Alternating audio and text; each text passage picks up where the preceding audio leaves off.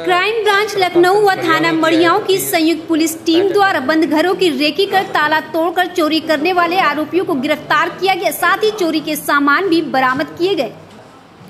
आज दिनांक इकतीस आठ दो हज़ार चौबीस को सुबह के टाइम पर मुखबिर खास सूचना पर मड़ियाओं पुलिस टीम और सेंट्रल क्राइम ब्रांच द्वारा चार शातिर चोरों को गिरफ़्तार किया गया है, जो बंद घरों में ताला तोड़ के चोरी करने का घटनाओं का अंजाम दिया जाता था।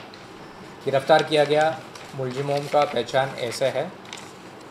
मोहम्मद शाहजाद उर्फ़ शेरा पुत्र मोहम्मद सलीम राहिल साहिल अंसार विपिन पुत्र गंगाराम सविता देवी उर्फ़ सा, सारिका पत्नी राज बहादुर निवासी मड़ियाओं तो इन चारों अभियुक्तगण में जो तीन मर्द है उनके द्वारा घर के अंदर प्रवेश करता था। और चोरी करता था और जो महिला है इस गिरोह में, वो रखी का काम करता था और जब मर्द घर के अंदर चोरी करता था, ये बाहर गली में पैदल इधर उधर टहलते रहता था ताकि कोई अगर घर की तरफ़ आए, पुलिस वाला दिखे तो अंदर जो है उनको सूचना देता था।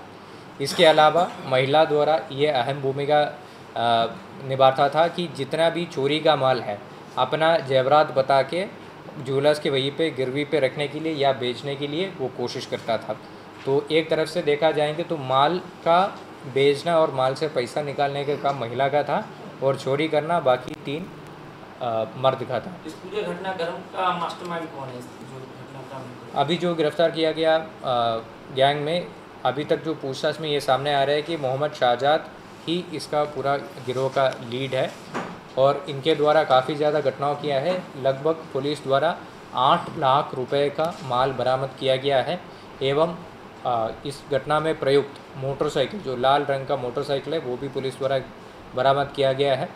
इस विषय पर इस पूरा गिरोह के खिलाफ आगे गैंगस्टर एक्ट का भी कार्रवाई किया जाएँगे और अनधिकृत रूप से इनके द्वारा आर्जित किया गया संपत्ति को सरकार की तरफ़ कुर करने का भी कार्रवाई किया जाए। इन सबकी मुलाकात कैसे जो तीनों मर्द हैं तीनों मर्द हैं वो पहले काफ़ी बार जेल भी जा चुका है तो उनका मुलाकात जेल में हुआ था और इनका आ, महिला का दोस्ती उसके बाद में हुआ था। गैंगस्टर का आरोपी है गैंगस्टर जो है एनडीपीएस का आरोपी है फिर इसमें महिला कैसे शामिल हुई? जैसा मैंने बताया कि ये तीनों अभियुक्त आपस में जेल में मिला था और साथ में काम करने के लिए निर्णय लिया था। ये स्पष्ट नहीं है कि कब से ये महिला इस गिरोह में भाग है जैसे अभी जितना हाल में जितना घटना किया है ये सीसीटीवी फुटेज जो हमको घटना स्थल से मिली है इसमें से ये महिला और बाकी लोग उसमें मौजूद होना वेरीफाइड है। चोरी के अलावा ये सब क्या कुछ करते हैं चारों? अभी खास तौर से इनके द्वारा कोई काम करना ये सामने नहीं आया है प्राथमिक रूप से ये चोरी करता है। जो मास्टरमाइंड सजाद है क्या इन लोगों का किसी का कुछ फैमिली से रिलेशन चारों? तो अभी इस विषय पे ज़्यादा जाँच किया जा रहा है इसमें। किराए पे रहते थे और इनका हाल पता तो बाहर का है। ये किराए पे रह के काम करते थे सारे कि ये यहाँ पर मकान का खुद का? इसमें सविता देवी को एक खुद का मकान है मड़ियाऊ क्षेत्र में और बाकी लोग इधर उधर किराए पे रहता था। मोहम्मद शहजाद क्या इससे पहले उन्नीस पहले भी जेल गया?